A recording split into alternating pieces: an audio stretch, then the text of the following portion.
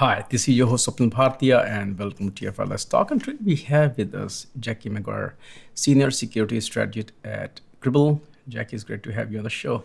Hey, thanks for having me. Great to be here.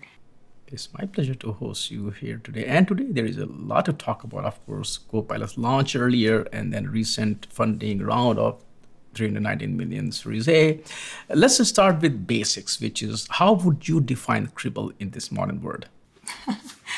Uh, so Cribl is the data engine for IT and security. Uh, I, I, call us different things to different people because we solve a handful of different problems across the enterprise. You know, if you're security, you might look at us as more of a telemetry pipeline. If you're in the observability space, you probably look at us more of an observability pipeline, but we've really built out a suite of products that are intended to help people get data from where it's at to where it needs to go in the format it needs to be to get there and only that format with only that data. So it's it's a lot of things to a lot of people. No, and, and that actually does make a lot of sense because sometimes when I do talk to folks in the observability space and then I talk to folks in the security space, I will like, hey, there are a lot of overlap, there are the gaps. So let's just forget about the labels and jargons and all the cultural movement that we talk about. Let's just talk about the problem that we are trying to solve. We are tapping into the same data. So thanks for uh, talking about that. Now, when it comes to Cribl and the space that you folks folks are working in.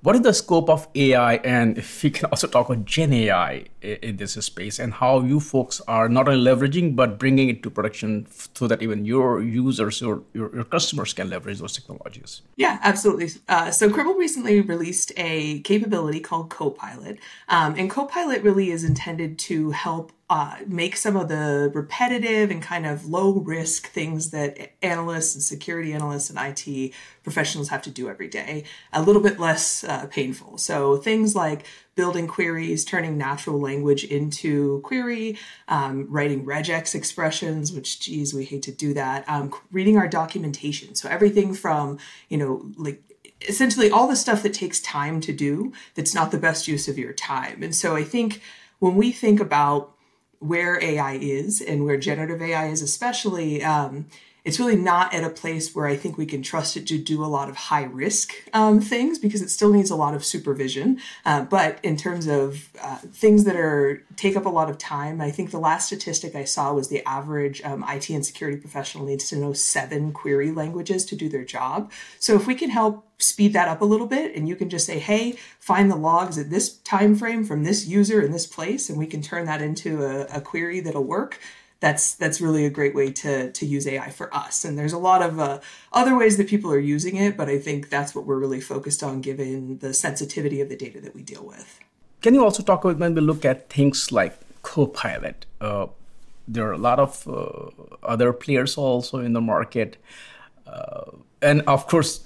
Uh, depending on like even Salesforce, you know, he was making fun of Microsoft Copilot. Hey, it's just like glorified Clippy. How does Cribl once again uh, realistically differentiate itself. So because you folks are targeting you know enterprise customers which is different than the mass market. So talk about how do you differentiate? What value it actually brings to the teams? Yeah so again cribl copilot is a, a feature. It's not really a product right? So this isn't something that we're going out to the market and selling as its own standalone thing. This is really just intended to save time and uh, resources to do the more mundane things that a lot of us hate doing like crawling through documentation and writing queries and you know doing a lot of the other things that um, can be challenging. So you can tell it for example like help me build a pipeline to get data from here to here and we'll kind of help you start to automate some of that. So um, there are competitors out there and if customers have found you know another ai product that will help them crawl our documents and, and do those things better than ours they're absolutely welcome to use that. So Cribl as a company is in hopefully uh, figure it will remain to be uh, a vendor agnostic platform right so we want to work with everybody because we're really here to help people get their jobs done better, more efficiently, and contribute to better IT and security outcomes. So um, I don't want to I don't want to confuse that Copilot is something that we're actually trying to sell as much as it is another way that we're trying to really supercharge what our customers are able to do with uh, their their technology in a given day. Excellent, and that also leads to the second question: is that more or less like uh, how much teams have to change or adapt to you know your Copilot versus it fits so nicely in their workflow that they won't even notice yeah. it. Yeah, and that's exactly it. Is if you're on Cribl Cloud and you're already in there building pipelines and you can just click a little icon at the bottom and ask it a quick question, that's a lot less disruptive than, for example, switching screens, pulling up a PDF, something like that. And so uh, I happen to be the co chair of our neurodiversity employee resource group. So I am very autistic, very ADHD. Really good at what I do, can get more done in a good day than most people can in three weeks. But if I'm switching windows, it's almost guaranteed something so, uh, like squirrel, right? Something's going to catch my attention, something's going to distract me. So that's where this is really intended to, you know, keep you on one page doing what you're doing and automate again, low risk, high repetitive uh, things that that really aren't what you get paid to do. Anything else from the co-pilot's perspective before we move to the funding round uh, that you want to talk about? No, you know, I think if you look at the fact that at least in cybersecurity, the federal government just called out we need at least half a million more cybersecurity professionals. Um, what we're really trying to do with things like Copilot and actually Cribl's product suite in general is lower the barriers to entry. So we don't want people to have to know six or seven query languages to do their job. We don't want them to have to know how to navigate a SIEM and maybe a SOAR platform and an XDR platform and five different databases. We really want them to be able to spend their time doing the things that are really where the ROI for that team comes from, which is uh, detecting, preventing breaches, you know, detecting and preventing outages on the IT side. Um, and these are things that we really feel like by enabling lower skilled individuals to do these things, you know, we're going to help start bridging that gap. And that's a very excellent point because sometimes when we look at AI or Gen AI in that case, that is going to replace folks. I mean, yes, I mean, every technology comes, it does, but I feel that it just like you know Photoshops, it did not eliminate the job of photographers or graphic. actually enabled even the people who did not master the skill, but even they can create better. So it's a it's a good tool in the hands, but sometimes we, when we get a hammer, everything starts looking like a nail. So that should also be not the case. But it enables teams and also it enables developers to save a lot of time on doing mundane tasks and so that they can focus on because a lot of things are moving developers pipeline. So the more you make it easier for them, the better it is. Now I want to talk about uh, the the funding round as well. Talk a bit about uh, the funding round and where do you see it's going to be invested? We announced that we had uh, raised on, I guess back in what was it, August, August 27th. Uh, Cribl announced that we raised a 319 million uh, Series E at about a three and a half billion dollar valuation, which is up about 40 percent um, from our Series D rounding, which was in. T- uh, 2022. Um, so the round was actually led by a new investor for us, um, Google Ventures, which is really exciting. Um, and Michael McBride, uh, who was former GitLab CRO, uh, has joined our board as part of Google Ventures. So it's something that we're really, really excited about. Um, and I think having uh, such a fantastic uh, investor and, and, partner is going to be really great for the business. I think for personally, I so I came from finance, right? So I spent some time at Silicon Valley Bank, and before that, Fidelity. Um, so and then as an industry analyst covering um, SIEM, SOAR, and XDR. So when I look at it from an outside perspective, um, I think this is really further evidence that we are solving really real, really um, underserved populations within IT and security teams.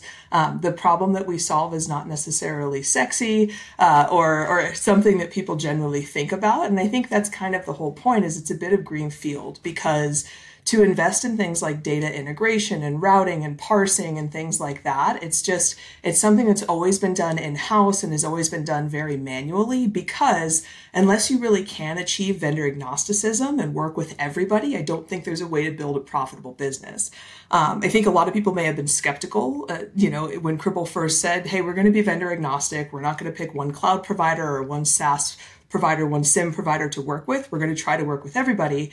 Um, and this recent, most recent round, I think the last round to me really proved it as well. But this is just further proof that you can work with everybody and that, you know, I, I always say if you, you know, the art of war, right? You need to think like your enemy. And so if we think about attackers, they're not they're not working with intellectual property. They're open sourcing everything. They're sharing secrets. They're sharing tools. They're working together. Um, and I think really, if we're going to uh, meet this challenge of protecting our data going into the future, we need to start doing that. You know, we cannot work in these kind of IP proprietary language and format and schema silos anymore. Um, and for me, this recent round was kind of a proof that that people are really believing that that this is the way that technology is going. Of course, it's, it's, October now. Talk a bit about what are the things in the pipeline, what more we should expect, and what kind of things we should look for in 2025. Yeah, so one of the things that I started to identify several months ago is that you know we've developed this really robust suite of products, and one of the things that we had started hearing from customers is like